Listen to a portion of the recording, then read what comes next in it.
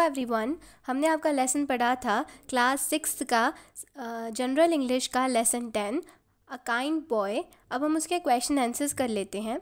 सबसे पहले एक्सरसाइजेस में आपको फ़र्स्ट वर्ड पावर में क्वेश्चन दे रखा है fill in the blanks first में फिल करना है नियर सेकंड में फिल करना है ही थर्ड में फिल करना है his came said hungry give eat was इसके बाद कॉम्प्रीहेंशन में आपको राइट रॉन्ग दे रखे हैं।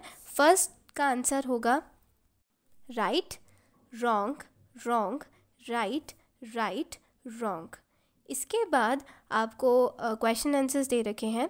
सबसे फ़र्स्ट क्वेश्चन है where was the young boy sitting जो यंग बॉय है वो कहाँ पर बैठा हुआ था? कहाँ पर बैठा था? तो इसका आंसर है the young boy was sitting near the window जो छोटा लड़का था वो खिड़की के पास बैठा था। सेकेंड क्वेश्चन है what was he doing near the window वो खिड़की के पास क्या कर रहा था? तो इसका आंसर है he was doing is homework at near the window वो क्या कर रहा था? खिड़की के पास अपना जो होमवर्क होता है, घर का जो काम होता है स्कूल से जो घर का काम मिलता है होमवर्क जो मिलता है, वो कर रहा था। थर्ड क्वेश्चन है why did his mother call him उसकी मदर जो है, वो उसे क्यों बुलाती हैं? तो इसका आंसर है his mother called him for breakfast उसकी जो मदर होती हैं, उसकी जो माँ होती हैं, उसे नाश्ते के लिए बुलाती हैं।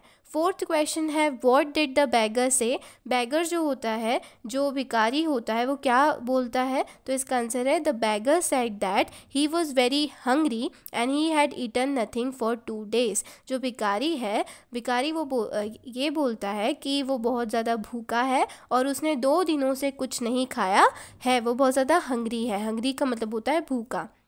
इसके बाद फिफ्थ क्वेश्चन है why did the boy give his breakfast to the beggar जो बॉय होता है, जो लड़का होता है, वो अपना जो नाश्ता होता है, अपना जो ब्रेकफास्ट होता है, वो भिकारी को क्यों दे देता है? तो इसका आंसर है the boy found that the beggar was really very poor and hungry so he gave his breakfast to the beggar जो लड़का होता है, लड़के लड़के को वो पता चलता है कि जो भिकारी है, वो बहुत ज़्यादा गरीब है, बहुत ज़्यादा भूखा है।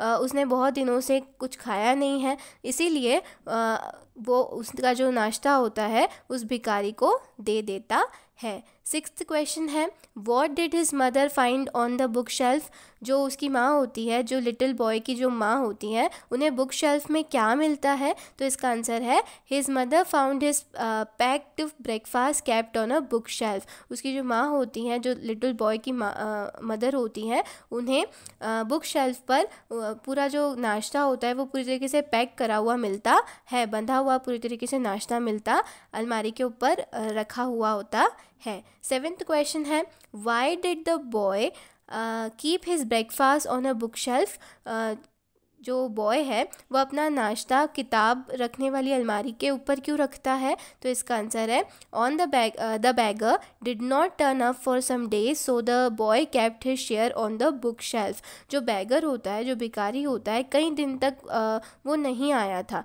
ठीक है? लड़के uh, लड़के से वो जो लिटिल बॉय है उससे मिलने वो बहुत दिनों तक नहीं आया था इसीलिए उसका हिस्सा किताब वो uh, जो बुक शेल्फ है उसमें रख देता है। एट्थ क्वेश्चन है what moral do you get from this lesson ये लेसन जो हमने पढ़ा अ काइंड बॉय उससे आपको क्या सीख मिलती है? तो इसका आंसर है it is glorious to help every person मतलब जब हम किसी की भी uh, सहायता करते हैं किसी की भी हेल्प करते हैं तो वो बहुत ज़्यादा ग्लोरियस होता है। मतलब ग्लोरियस मतलब वो हमें हैप्पी uh, हमें और हैप्पी बनाता है।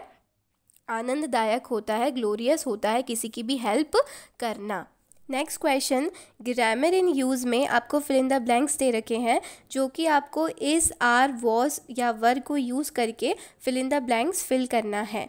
इज़ आर वॉज़ वर्ग क्या होते हैं? ये हेल्पिंग वर्ब्स होते हैं और मोर स्पेसिफिक तरीके से बोलें तो ये ऑक्जिलरी वर्ब्स होते हैं।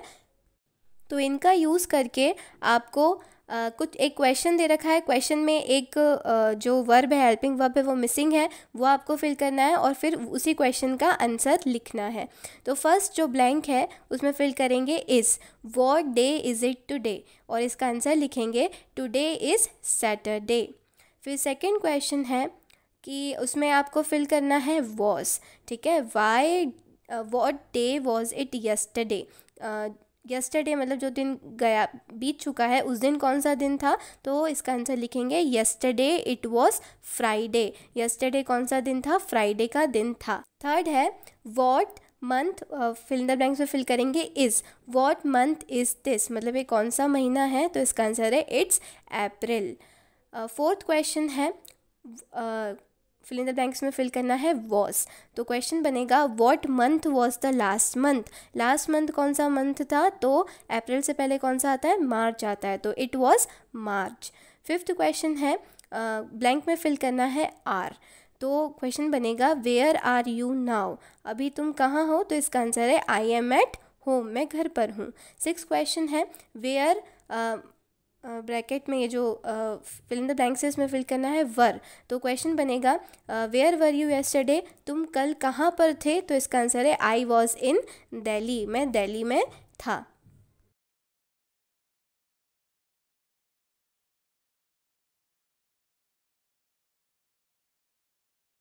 अगर ये वीडियो आपको हेल्पफुल लगी हो तो please subscribe to the channel and drop me a like और अगर आपकी कोई भी क्वेरीज़ हो, कोई भी डाउट हो तो आप कमेंट सेक्शन में लिख सकते हो। Thanks for watching have a nice day